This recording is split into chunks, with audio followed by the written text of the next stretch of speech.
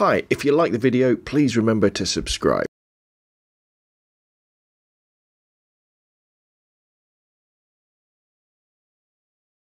Hi, I'm Rob from robnunnphoto.com and in today's video we're going to be kind of wrapping up and uh, putting, putting into practice the good stuff we've been learning about the um, Spyder 4 Pro uh, monitor calibration device that I've done um, some videos with over the, uh, over the last few weeks.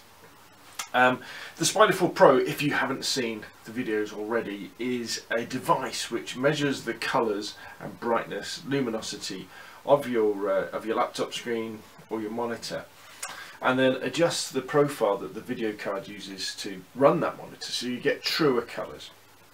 The idea being is that you can make sure that the color casts that um, completely naturally introduce themselves into your monitor over time or maybe they're even there from the time uh, you bought it um, uh, can be can be accounted for and uh, your monitor can be brought back into a state where it's um, it's really showing uh, as best it can um, the, the, true colors um, if you've seen the if you've already watched the videos you'll know but just to do a quick recap as well basically um, I use the Spyder 4 Pro to calibrate my laptop monitor and this old um, uh, uh, LG Flatron monitor.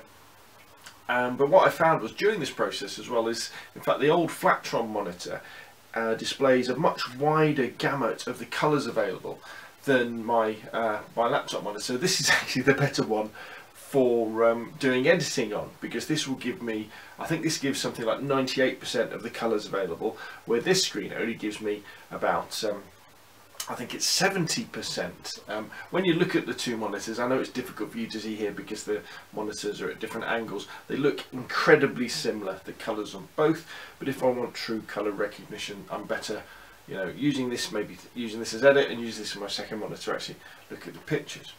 So what we're going to be doing in this video is we're going to be kind of putting everything into practice and the fact that we've calibrated these monitors so that they produce true colours. Um, and we're going to be taking um, some product shots of two well-known to British people anyway products so you should recognise the colours. We've got Bisto gravy and we've got a tin of Heinz beans. If you're working in a, a commercial environment where you're taking pictures of these things or, or, or, any any product or or anybody to be honest where the reproduction of that colour is is inherently important to say the advert. You know if you produced a picture of for an advert of a tins of Heinz beans and the colour was different from the packet you know the client wouldn't be very happy people would be a bit confused wouldn't they? And similarly when you're actually taking pictures of people as well is if the skin tones aren't the right, right colour if they aren't the same colour then people might not know straight away they, uh, that there's something wrong but it's that kind of thing uh, where you say you know I can't tell you what a incorrectly coloured photo looks like but I can spot one that is correctly coloured you know because all of a sudden it, you know it tends to pop off the screen pop off pop off the paper. So what we're going to be doing is we're going to be um, firstly we're going to be taking a couple of pictures well one picture of these two products. Um, I'm going to be using a very simple grey card um, just to make sure we get the white balance right. Then we're going to be importing those pictures we're going to be looking at them in Lightroom. We're going to be using the data from the shot with the uh, with the grey card in to correct any colour casts and then we'll be able to be seeing true colours on the monitors and then I'm going to be printing out a photograph using my Canon um, 5550 printer and then we're just really going to be comparing the, the colours on the photograph with the colours on the screens and the colours of the actual products and so we can actually see you know how close we can get and how much um, better it would be than if it was not calibrated. Well, that's a little bit difficult because in order to do that, I would have to do things um, without a calibrated system. Where obviously here we are, but I just wanted to show you kind of the whole process that you could go through very simply at home, really, just to make sure um, that your colours are going to pop off the screen because they're going to be correct. Um, okay, so without further ado, let's move the camera around and you know take a couple of shots of the uh, the Heinz baked bean tin and the Bisto gravy um, and then we can really crack on. Okay so this is the shot I'm going to be taking of my um, baked bean tin and my uh, Bisto tin um, and what I'm going to be using, I'm going to use an on-camera flash just to pop that in. But what I'm going to do is I'm going to take a couple of photos, one of the um, the tin and the uh, the the the, the, the uh, Bisto tin by itself, and then one with my basic uh, grey card in there, so I can correct for uh, any white balance issues. So um, without further ado, um, let's do that. So I'll just stop the video now and then uh, crack on. Okay, so we've taken the picture and I've imported the photos into Lightroom. So I'm kind of editing the photos here on my laptop, but hopefully back here you can see my, my main um, my main monitor. Now I know this one produces and um, reproduces more of the proper gamut of the colours of the uh, sRGB colour space I'm working in. So whenever I need a reference for a colour, I shouldn't really be taking too much interest in my laptop screen because it only produces about 70%, where this does, I think, about 97%. But already, remember, these are these are colour calibrated monitors, and because I took the photos with flash with my camera set to the flash white balance, the white balance and the colours should be pretty much there already anyway. And in fact, if I hold the tin of Bisto up to here, now there will be obviously a difference in brightness because you've got this was taken with a bright flash and we're not under a bright flash now but I could, increase the exposure to show that but already if you look at that again it'd be difficult to see on the video but the yellow of the Bisto and the yellow on the photograph is pretty close and the Heinz Beans colour although it's brighter um, the colour itself um, is is pretty pretty good. Now we can make sure the white balance really is spot on. Well, if we load up this picture here, this is my um, my kind of uh, white balance card, and all you're really doing when you when you're correcting white balance is you're just selecting an area in, in Lightroom. Basically, you go to the white balance um, color picker, and you're just picking an area of the, of the photo that should be a neutral color uh, which is a grey. Now, this can be a little bit confusing. You think, well, what do they mean by neutral? Well, all it means is that if you were to uh, go into Photoshop or a colour analysing program and look at this this um, this colour, the red, the green and the blue channels, what the colour is made of, would always be the same value. So it doesn't really mean matter if it's black, if it's grey or if it's white or any shade in between.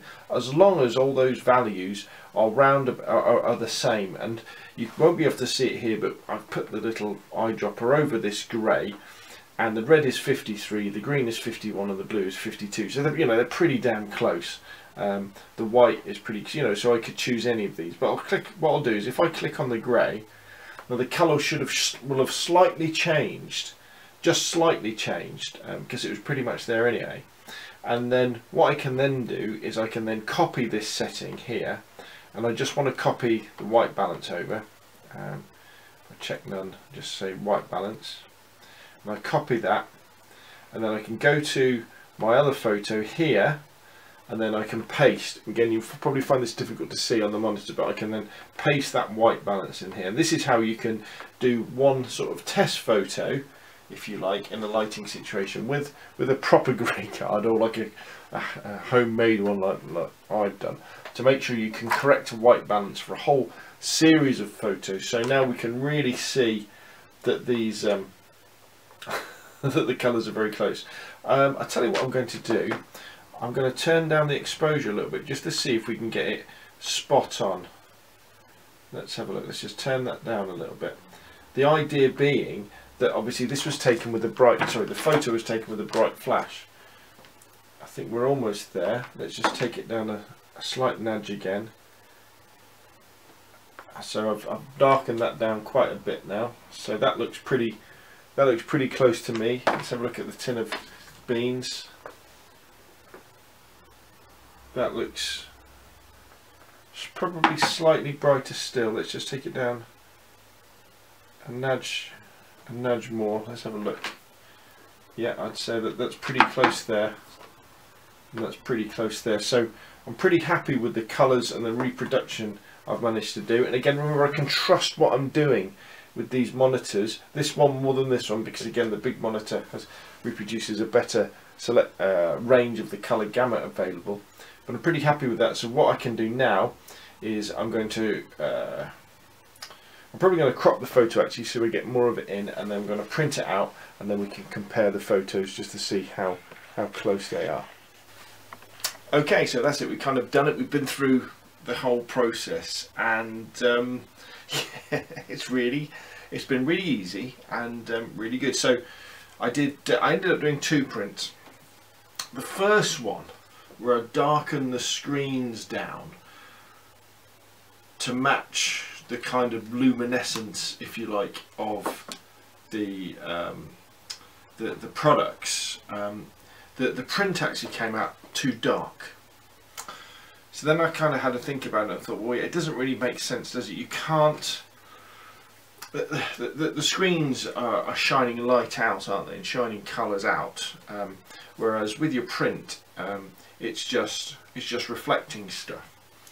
So it kind of makes sense to kind of to, to stick with what the calibrated screen said and the, and print it out from there um, and then and see if that matches. In fact, when I did that, the, the colour matches are incredibly good on the um, on the products themselves. Again, it's probably it's very difficult probably for you to see this, but you know that the, the red and the yellow on the Bisto and the green, you know they're pretty much pretty much identical.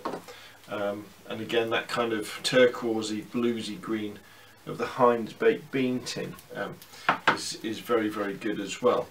And the colours, although obviously we've got difference in luminosity, difference in, in brightness because we've got the monitor which shines light out and the um, and the photograph which just reflects light and it's it's not that bright in here. I'm just using a, a little LED light and a and a bulb. Um, the colours are incredibly similar um, especially when you kind of look at the yellows and then like the oranges uh, and the blues so and a lot basically a lot of that is down to you know this little device the, the, the Spyder 4 Pro from Datacolor because it's enabled me to calibrate both of these monitors um, which means that I can trust the colours that they're reproducing.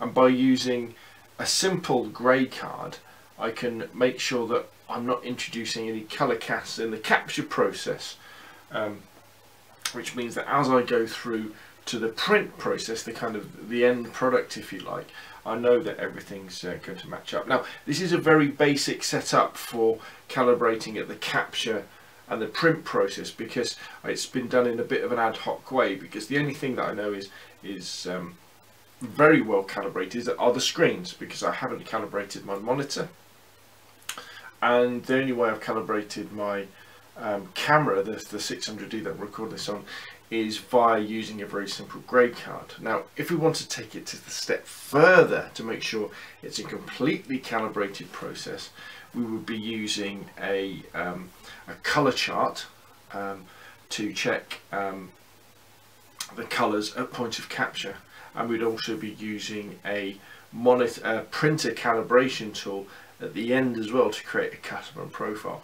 But hopefully what I've shown you here through this series of videos about the Spyder 4 Pro and this kind of end one where we kind of put it all together is that this is something that's very important for even amateur photographers if you want your colours to really pop off the screen and is pretty much uh, essential for professional photographers. Now hopefully those kind of people at Datacolor um, will send me to look at, to review and do some video guides for the, the capture calibration stuff they do and the printer calibration they do.